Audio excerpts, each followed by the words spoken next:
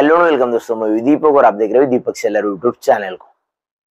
दोस्तों, mobile number portability के बारे में तो आपने ज़रूर से सुना होगा, बट यहाँ पे क्रेडिट कार्ड नेटवर्क पोर्टेबिलिटी के बारे में सुना है? नहीं सुना है ना? तो चलिए इस वीडियो में सारे क्लियरिफिकेशन मैं आप लोगों को दे दूँगा कि बाबा, अब अपने क्रेडिट कार्ड का नेटवर्क भी यहाँ पे पोर्ट कर सकते हो।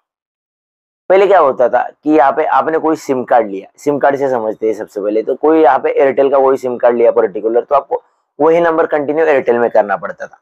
बेटा यहाँ पे, मान लेते कि आप यहाँ पे लोकेशन चेंज कर दिया। अब कहीं यहाँ पे किसी और शहर में रहते थे, अब आपका ट्रांसफ़र हो गया दूसरे शहर में। तो उस शहर में अब जहाँ पे रहते हो वहाँ पे आपने मान लीजिए कि यहाँ पे मुंबई में पहले रहते थे और आप जिस एरिया में रहते थे, वहाँ पे आपको एयरटेल का नेटवर्क अच्छा आता था। और आप यहाँ पे पुणे में शिफ्ट हो गए और पुणे में आप जिस जगह पे रह रहे, वहाँ पे वोडाफोन का नेटवर्क अच्छा आ रहा है वी का, या फिर वोडाफोन आइडिया का नेटवर्क अच्छा आ रहा है। तो यहाँ पे उस नेटवर्क से दूसरे नेटवर्क में शिफ्ट होना मतलब सेम नंबर के साथ यहाँ पे अपना नेटवर्क चेंज करना पॉसिबल नहीं था। बट यहाँ पे, जब से यहाँ पे एमएन की एमएनपी की फैसिलिटी है मोबाइल नंबर पोर्टेबिलिटी की, तब से यहाँ पे आप लोग अपना यहाँ पे नेटवर्क इजीली यहाँ पे शिफ्ट कर सकते हो। मतलब कि आपका नंबर तो सेम रहेगा बट यहाँ पे नेटवर्क चेंज हो जाएगा। अपने चॉइस किया एयरटेल तो एयरटेल में आप स्विच हो सकते हो। अपने चॉइस किया आइडिया तो आइडिया में स्विच हो सकते हो। मतलब वीआई में स्विच कर सकते हो। जियो से सिलेक्ट किया तो जियो में स्विच कर सकते हो। तो ये फैसिलिटी आ गई। उसके बाद यहाँ पे कस्टमर के तो यहाँ पे बल्ले बल्ले हो गए। मतलब कि नॉर्मली कस्टमर के फेवर में एक बात आ गई, आपको यहाँ पे नेटवर्क कोई पसंद नहीं, किसी यहाँ पे सिम कार्ड की सर्विस पसंद नहीं तो आप यहाँ पे इजीली नेटवर्क चेंज कर पाते हो।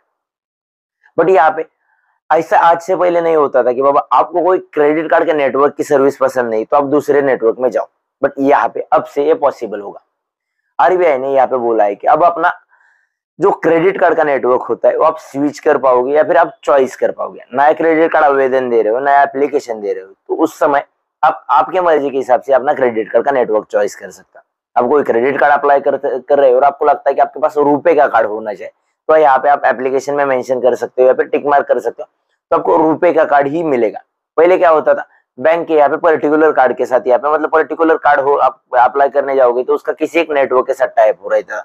मोस्ट ऑफ़ केसेस में इंडिया में यहाँ पे दो ही नेटवर्क ज़्यादातर पॉपुलर रहते थे, एक वीज़ा और मास्टर बट यहाँ पे जो इंडिया का खुद का नेटवर्क है रूपे वो थोड़ा सा कहीं ना कहीं यहाँ पे पीछे रहता था। बट यहाँ पे जब से रूपे ने यहाँ पे फैसिलिटी यहाँ पे लॉन्च की कि बाबा आप यूपीआई के ज़रिए अपना क्रेडिट कार्ड लिंक कर सकते हो और उससे आप यहाँ पे पेमेंट कर पाओगे मर्चेंट क्यू कोड को यहाँ पे स्कैन करके।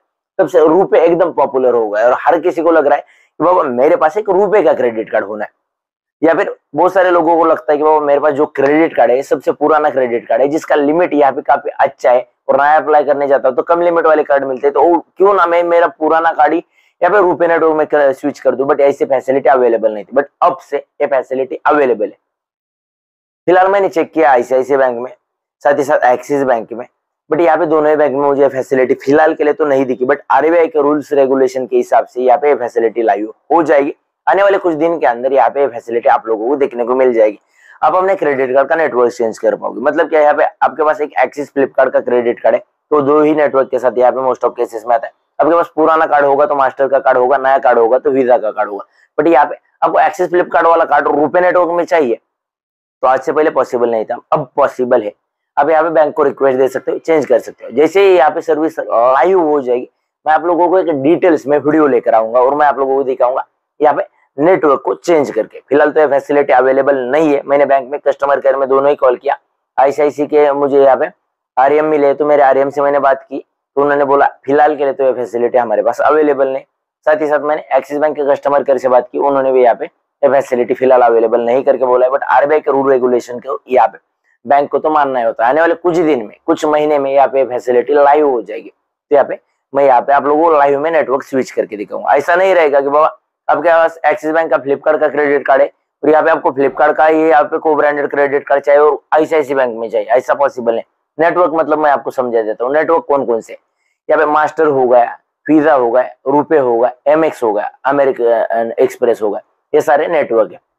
तो आप मास्टर वीज़ा या फिर रुपए एक दूसरे में इजीली स्विच कर सकते हो, क्योंकि यहाँ पे एक नेटवर्क है। साथ ही साथ अमेरिकन एक्सप्रेस क्या है? एक खुद की कंपनी है और खुद का नेटवर्क है। तो उसे आप एक दूसरे जगह पे, यहाँ पे एक्सचेंज नहीं कर पाओगे। बाकी यहाँ पे आपके पास मल्टीपल बैंक के ऑप्शन अवेलेबल बहुत सारे बैंक अवेलेबल है बट यहाँ पे बहुत सारे बैंक में यहाँ पे कुछ तीन आपको पर्टिकुलर नेटवर्क देखने को मिलेगी जो रूपे होगा मास्टर होगा वीज़ा होगा इनको आप आपके मर्ज़ी के हिसाब से चेंज कर सकते हो, फिर अपने मर्ज़ी के हिसाब से आप कार्ड अप्लाई करते समय इसे ले सकते हो। जहाँ पे, चलिए, ये तो बातें हो गई, बहुत सारी बातें हो गई इसके बारे में। इसके ऊपर यहाँ पे डिटेल्स में जानकारी भी मैंने आप लोगों को दे दी।